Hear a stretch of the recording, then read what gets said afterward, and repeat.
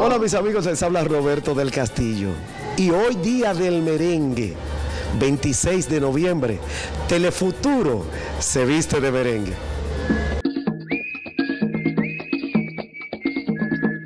Oh, oh,